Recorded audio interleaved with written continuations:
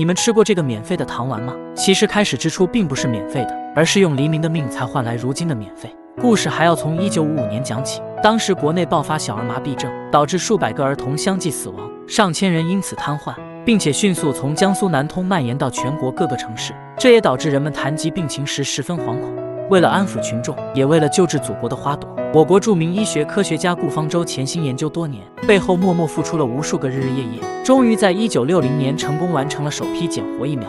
为了保证安全性，顾方舟亲手给自己不到一岁的孩子喝下了第一颗疫苗试剂。由于当时是液体，很多孩子不愿意接受这种方式，所以顾方舟后来又继续改进，最终将疫苗研制成了口味香甜、服用方便的糖丸。虽然糖丸是小小的一颗。但问世后却拯救了无数个儿童的生命。然而当时的社会现状并不足以让所有孩子都能吃上，只有有钱人家的孩子才能。这也就导致身处偏远地区的家庭不仅不知道有糖丸的存在，甚至就算知道也买不起。更何况在大山中生活了祖祖辈辈，他们也没有要去接种疫苗的概念，所以糖丸推广一事可谓困难重重。直到一九九四年，黎明担任联合国儿童基金会亲善大使，得知此事后的他，开始亲力亲为的为糖丸做宣传，为疫苗筹集善款。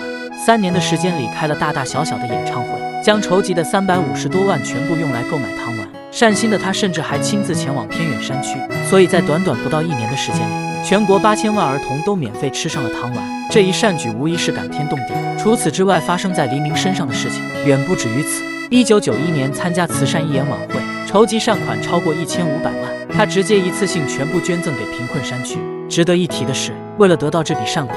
黎明不惜冒着生命危险表演杂技。当时有一个人提出，只要他能表演钢筋勒脖子，自己就捐十三万块。听到这个数目后，黎明没有丝毫犹豫，直接从旁边拿起钢筋往脖子上一圈圈缠起来。眼看被勒得满脸通红，差点喘上来气，工作人员赶紧上前帮忙揭开。后来又有一位富豪临时加价，让早已精疲力尽的黎明再唱一首歌。彼时黎明真的已经累到不行，可即便如此，仍旧站了起来。因为这个破音，黎明整整被嘲笑了三十多年，甚至被网友称为“跑调大王”。但他丝毫不在意。零四年之后，黎明开始逐渐淡出娱乐圈，专心投入到了慈善事业。至今已经组织慈善活动超过三百余场，公益演唱会更是高达百场。不过，除了黎明之外，我们最应该感谢的还是研究出糖丸的顾方舟教授。他为了实现全面消灭骨髓灰质炎，奉献了一生。这样的人值得我们时刻铭记。